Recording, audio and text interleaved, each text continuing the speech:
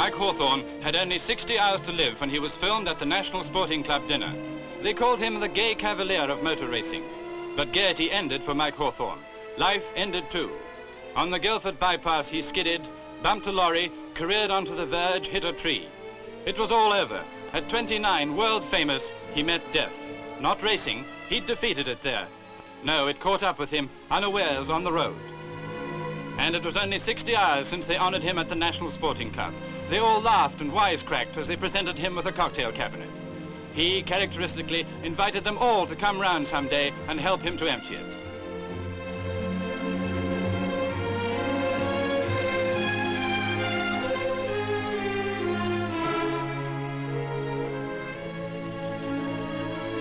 It was his very gaiety that concealed from many that behind the boyish smile lay the determination without which he could never have been world champion.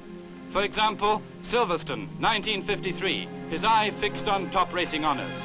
Honoured, in fact, already by being Ferrari's only driver at the meeting. When he skidded, his ice-cool head was equal to the danger. He was back on the track, unperturbed, still in the race.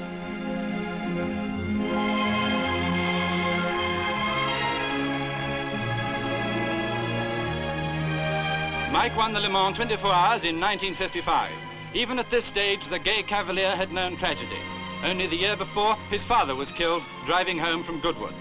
Mike led the Jaguar team at Le Mans. He got away well, but it was the strong Mercedes contingent that made the running.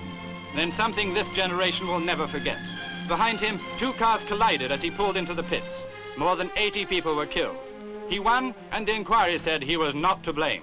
Nearly four years later, his own Jaguar was smashed against a tree. Mike Hawthorn was dead. The world salutes his memory.